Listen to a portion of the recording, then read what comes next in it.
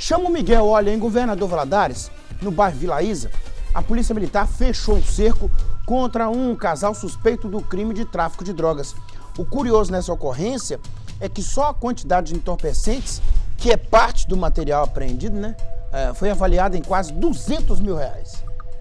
É polícia que avalia. Isso aqui vale tanto, tanto. Miguel vai contar aqui, ó. Olha o Miguel chegando. Miguel, Miguel. Como diz os meninos da edição, é, é o tal do quebrando a banca. Bom dia para você, Miguel. Oi, Nico. Bom dia para você, bom dia para quem nos acompanha. Realmente, a banca foi quebrada no bairro Vila Isa. Tudo isso por consequência de uma denúncia anônima da população que informou que a mulher estaria entregando o entorpecente para uma pessoa que não teve nem a idade divulgada, o nome divulgado também, logicamente, e nem o local. Mas com isso, a polícia montou uma operação, fez um cerco-bloqueio, mas quando a mulher percebeu a presença da polícia, ela fugiu em alta velocidade. Aí outra equipe foi acionada e abordou a mulher.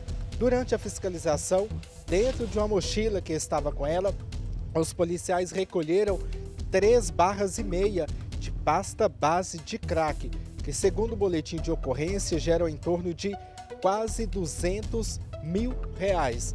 Ela também disse que na casa havia outros entorpecentes, então a polícia foi até a residência dela, só que o homem não estava e lá foram encontrados outros materiais.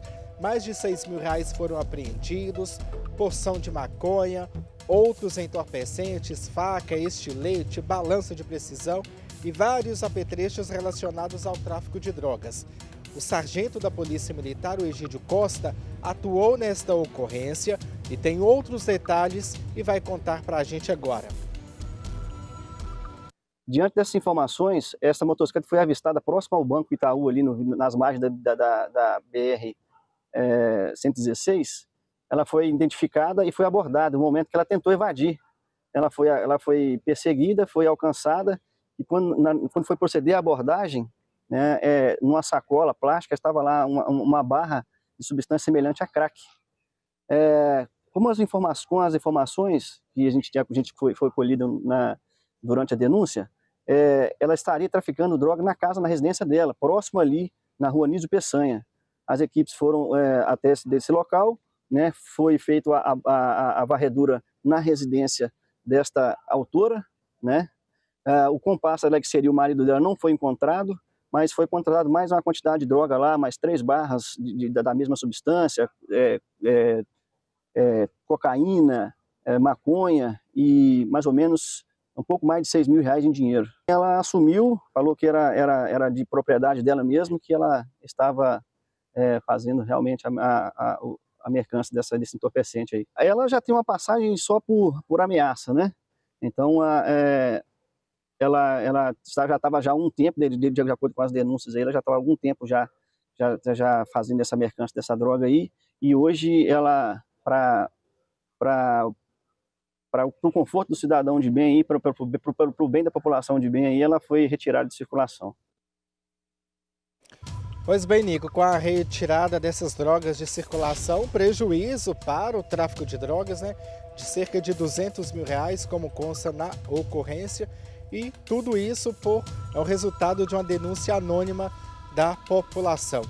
Paz para o bairro Vila Isa, Nico. Paz para o bairro Vila Isa e talvez para quem está desinformado, Miguel, não é o caso da nossa audiência, né? nossa audiência está sempre bem informada. Ah, Nicomedes, o que, que interfere no negócio de avaliar em 200 mil? Ué, porque normalmente esse dinheiro é investido na própria geração de crimes, né? Compra de armas e por aí vai, né? É, assim diz a polícia e a justiça, em algumas condenações, já comprovou né, que esse recurso é usado de outra forma. Por isso, então, a razão de dizer aí, está avaliado em tanto, é um prejuízo, significa um prejuízo, né? É, pelo menos do ponto de vista de quem está do lado do bem, né? É. Miguel, obrigado. Depois você volta aqui no Balanço Geral. Miguel Braz.